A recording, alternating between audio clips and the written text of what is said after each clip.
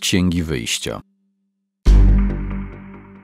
W owych dniach Mojżesz i Aaron udali się do Faraona i powiedzieli mu: Tak powiedział Pan, Bóg Izraela: Wypuść mój lud, aby urządził na pustyni uroczystość ku mojej czci. Faraon odpowiedział: Kimże jest Pan, abym musiał usłuchać jego rozkazu i wypuścić Izraela? Nie znam Pana i nie wypuszczę Izraela. Rzekli: Bóg Hebrajczyków nam się ukazał. Pozwól przeto nam iść trzy dni drogą na pustynię i złożyć ofiarę Panu, Bogu naszemu, by nas nie nawiedził zarazą lub mieczem. Na to odpowiedział im król egipski. Dlaczego to Mojżeszu i Aaronie? Chcecie odwieść lud od pracy. Idźcie co prędzej do waszych robót. I powiedział jeszcze Faraon. Oto lud kraju teraz jest liczny, a wy odciągacie go od pracy. Tego samego dnia taki rozkaz wydał Faraon dozorcom robót ludu i pisarzom. Nie będziecie więcej dostarczać ludowi słomy do wyrabiania cegły, jak poprzednio. Odtąd niech sami się starają o słomę.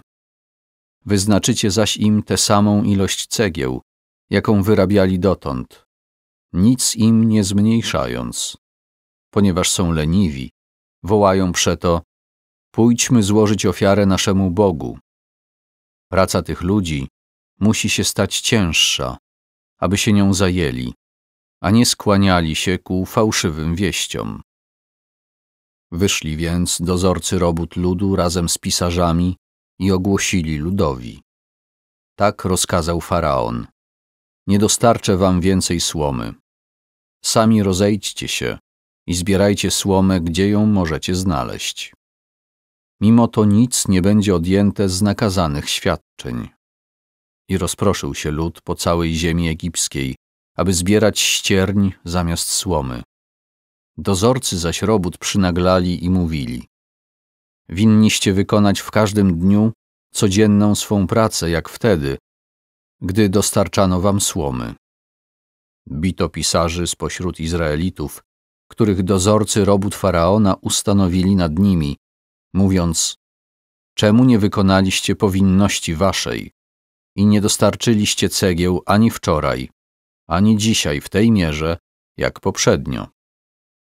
Pisarze zaś spośród Izraelitów przybyli do faraona i narzekali, mówiąc: Czemu postępujesz w ten sposób z twoimi sługami? Nie dają teraz słomy twoim sługom i mówią nam: Róbcie cegły. Oto twoi słudzy są bici i winę przypisuje się ludowi. Faraon im odpowiedział: Jesteście bardzo leniwi i dlatego mówicie: Chcemy wyjść, by złożyć ofiarę Panu. Teraz idźcie, ale do pracy.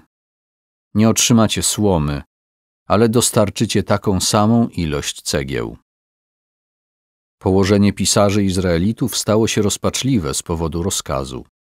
Nie umniejszajcie nic z dziennego wyrobu cegieł. Gdy wychodzili od faraona, spotkali Mojżesza i Aarona, którzy na nich czekali, i powiedzieli do nich: Niechaj Pan wejrzy na was i osądzi, gdyż naraziliście nas na niesławę u faraona i jego dworzan. Wy to podaliście miecz w ich rękę, aby nas zabijali.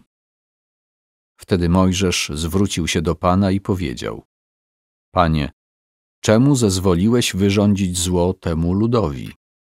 Czemu mnie wysłałeś? Wszak od tej chwili, gdy poszedłem do faraona, by przemawiać w Twoim imieniu, gorzej się on obchodzi z tym ludem, a Ty nic nie czynisz dla wybawienia tego ludu.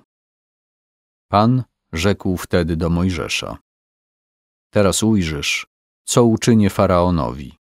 Zmuszony mocną ręką, wypuści ich i mocną ręką wypędzi ich ze swego kraju.